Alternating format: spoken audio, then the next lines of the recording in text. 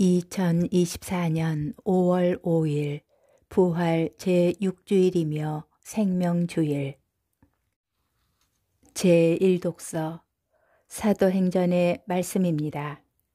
베드로가 들어서자 코르넬리우스는 그에게 마주 나와 그의 발 앞에 엎드려 절하였다. 그러자 베드로가 그를 일으키며 일어나십시오. 나도 사람입니다. 하고 말하였다. 베드로가 입을 열어 말하였다. 나는 이제 참으로 깨달았습니다. 하느님께서는 사람을 차별하지 않으시고 어떤 민족에서건 당신을 경외하며 의로운 일을 하는 사람은 다 받아주십니다. 베드로가 이야기하고 있을 때 말씀을 듣는 모든 이에게 성령께서 내리셨다. 베드로와 함께 왔던 할례 받은 신자들은 다른 민족들에게도 성령의 선물이 쏟아져 내리는 것을 보고 깜짝 놀랐다. 이 다른 민족 사람들이 신령한 언어로 말하면서 하느님을 찬송하는 것을 들었기 때문이다. 그때 베드로가 말하였다. 우리처럼 성령을 받은 이 사람들에게 물로 세례를 주는 일을 누가 막을 수 있겠습니까? 그러고 나서 예수 그리스도의 이름으로 세례를 받으라고 그들에게 지시하였다. 그들은 베드로에게 며칠 더 머물러 달라고 청하였다. 주님의 말씀입니다. 제2독서 요한 1서의 말씀입니다. 사랑하는 여러분, 서로 사랑합시다. 사랑은 하느님에게서 오는 것이기 때문입니다. 사랑하는 이는 모두 하느님에게서 태어났으며 하느님을 압니다. 사랑하지 않는 사람은 하느님을 알지 못합니다. 하느님은 사랑이시기 때문입니다. 하느님의 사랑은 우리에게 이렇게 나타났습니다. 곧 하느님께서 당신의 외아드님을 세상에 보내시어 우리가 그분을 통하여 살게 해주셨습니다. 그 사랑은 이렇습니다. 우리가 하느님을 사랑한 것이 아니라 그분께서 우리를 사랑하시어 당신의 아드님을 우리 죄를 위한 속죄 제물로 보내주신 것입니다. 주님의 말씀입니다. 복음, 요한복음 15장 9절에서 17절의 말씀입니다. 그때 예수님께서 제자들에게 말씀하셨다.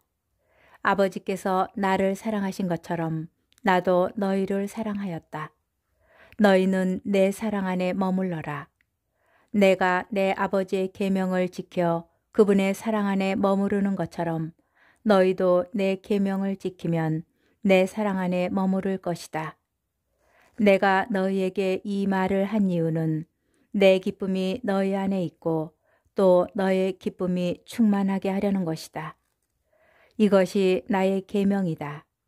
내가 너희를 사랑한 것처럼 너희도 서로 사랑하여라. 친구들을 위하여 목숨을 내놓는 것보다 더 큰 사랑은 없다. 내가 너희에게 명령하는 것을 실천하면 너희는 나의 친구가 된다. 나는 너희를 더 이상 종이라고 부르지 않는다. 종은 주인이 하는 일을 모르기 때문이다. 나는 너희를 친구라고 불렀다. 내가 내 아버지에게서 들은 것을 너희에게 모두 알려주었기 때문이다. 너희가 나를 뽑은 것이 아니라 내가 너희를 뽑아 세웠다. 너희가 가서 열매를 맺어 너희의 그 열매가 언제나 남아있게 하려는 것이다. 그리하여 너희가 내 이름으로 아버지께 청하는 것을 그분께서 너희에게 주시게 하려는 것이다. 내가 너희에게 명령하는 것은 이것이다. 서로 사랑하여라. 주님의 말씀입니다. 오늘의 묵상. 사랑은 너무나 막연하고 다양하며 개별적입니다. 오늘 복음에서 예수님께서는 당신께서 바라시는 사랑이 어떤 것인지를 뭐뭐 한 것처럼 이라는 예를 들어 알려주십니다. 아버지께서 나를 사랑하신 것처럼 내가 그분의 사랑 안에 머무르는 것처럼 내가 너희를 사랑한 것처럼 사랑하여야 한다는 것입니다. 곧 우리가 배워야 할 사랑은 아버지께서 하신 사랑이고 예수님께서 보여주신 사랑입니다. 제2독서는 그 사랑이 이렇게 나타났다고 하며 하나님의 사랑을 소개합니다. 하나님께서 당신의 외아드님을 세상에 보내시어 우리가 그분을 통하여 살게 해주셨습니다. 곧 하나님의 사랑은 우리를 살게 하는 사랑이고 이를 위하여 당신의 소중한 존재를 내주는 사랑이었습니다. 더구나 이 사랑은 무상성이라는 특징을 가지는데 이를 오늘 독서와 복음은 다음과 같이 말합니다. 우리가 하나님을 사랑한 것이 아니라 그분께서 우리를 사랑하셨고 너희가 나를 뽑은 것이 아니라 내가 너희를 뽑아 세웠다. 그래서 이 사랑의 소유자인 우리는 더 이상 종이 아니라 친구라고 불리게 됩니다. 친구라고 해서 언제나 우리를 외롭지 않게 하는 것은 아닙니다. 목숨을 내주는 사랑이 아니면 사랑은 늘 의심스럽거나 불충분하고 타인을 통하여 만들어지는 사랑은 언제나 외롭고 두렵습니다.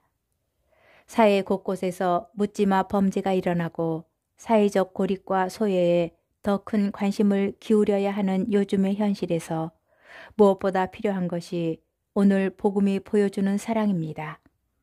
내가 사랑받고 있는지를 확인하는 데 급급하기보다 거저 내주고 상대를 살리려는 진심에 충실할 것. 그러지 않으면 우리는 상대의 사랑이 가식이나 위선이 아닐까 하는 의심에서 결코 자유로울 수 없을 것입니다.